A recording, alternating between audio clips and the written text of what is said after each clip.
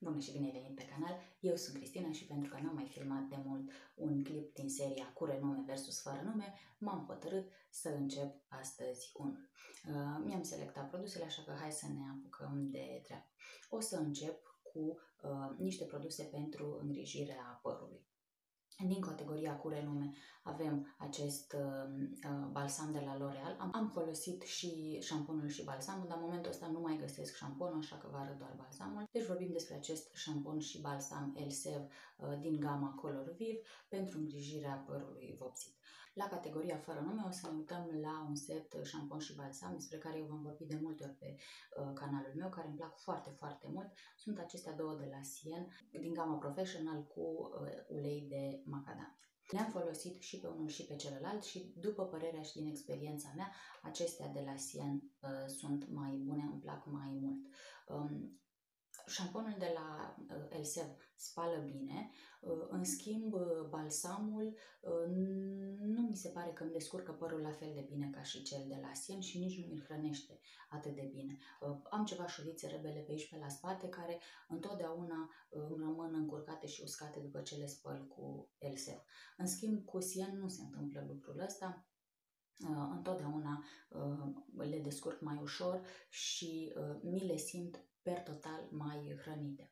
Uh, mirosul este plăcut și la unul și la celălalt, la Elsev mi se pare mai delicat, la Sien mi se pare mai uh, pronunțat mirosul, dar îmi place foarte mult, așa că nu mă deranjează deloc lucrul ăsta, ba din contră, uh, e un plus. Și încă un mare avantaj al gamei Sien ar fi prețul. Uh, prețul atât al șamponului cât și al balsamului este de 8 lei bucata, deci ambele m-au costat 16 lei, pe când la Elsev uh, doar șamponul este undeva la 12 uh, sau 14 lei, cred că 14.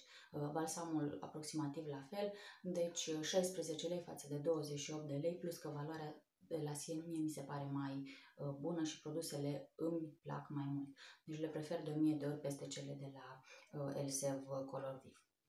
Așadar, verdictul meu este că uh, merită mult mai mult să cumpărăm uh, produsele din gama uh, Sien.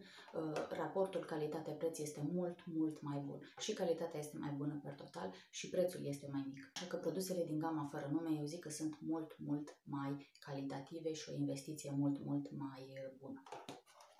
O să trec uh, mai departe la niște uh, săpunuri.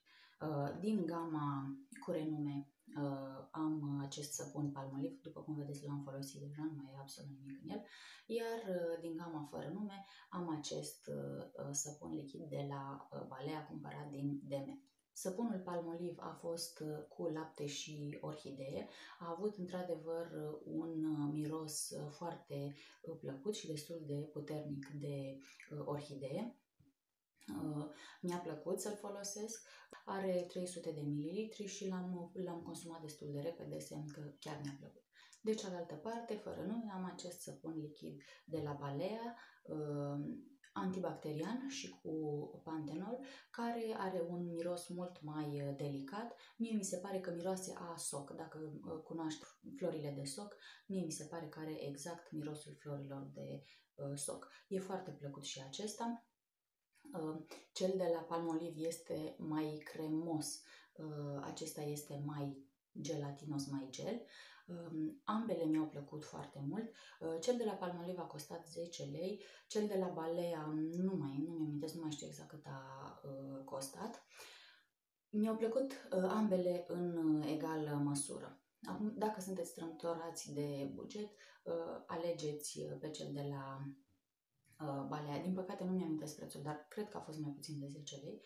Um, dacă sunteți strâmtorați de buget, cum spuneam, alegeți balea, dacă nu și dacă vă place un miros mai puternic, puteți uh, alege uh, palmolive.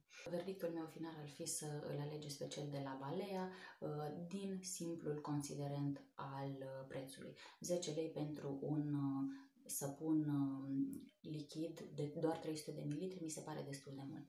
Balea mi se pare o investiție mai uh, uh, bună pentru simplul fapt că este calitativ, dar este mai ieftin. Așa că eu zic, să, uh, eu zic că în bătălia uh, cu renume versus fără nume câștigă și de data asta fără nume Balea de la DM. Ultimul cuplu de produse pe care le-am testat comparativ sunt aceste șervețele umede. Uh, am cu renume pe cele de la Pufis, fără nume pe cele de la Lidl, chiar cele mai ieftine de la Lidl. Cele de la Pufis conțin 64 de bucăți, cele de la Lidl conțin 72 de bucăți. Uh, am mai spus și în alte clipuri, uh, și scutece și șervețele folosim doar Pufis și uh, Lubilu din Lidl. Um, calitatea mi se pare atât la scutece cât și la șervețele comparabilă, un pic mai bune cele de la Pufis, dar uh, și prețul este mult mai mare. Le cumpăr doar când sunt la uh, promoție, vorbesc acum de uh, scutece. Șervețele acestea le-am cumpărat din Oșan, au costat undeva între 5 lei și 6 lei. Uh, și mi-au plăcut foarte, foarte mult. Uh, cele de la uh, Lidl sunt 72 de bucăți și au costat um, sub 3 lei, 2 lei, 70 și ceva, sub 3 lei în orice caz. Um, ca și calitate, un pic mai bune cele de la Pufis, deci se respectă, după părerea mea, regula de la scutece, un pic o idee mai bună cele de la Pufis, dar prețul mult mai mare. Deci, părerea mea ar fi că dacă nu sunteți strâmtorați cu bugetul, alegeți Pufis, sunt un pic mai bune, dar uh, dacă folosiți multe și consumați foarte, foarte multe um, pachete, uh, și vreți să vă uitați un pic și la bani, alegeți uh, uh, Lidl, sunt doar un pic, un pic inferioare, o idee inferioară calitativ, uh, dar prețul este mult, mult mai avantajos. Cred că, per total, dacă raportăm um, calitatea la preț, uh, în câștig ies cele de la Lidl. Deci, după părerea mea, alegeți uh, Lidl-ul, alegeți șervețelele de la Lidl dacă sunteți atenți cu bugetul vostru și dacă vreți să aveți un produs bun la un preț mic.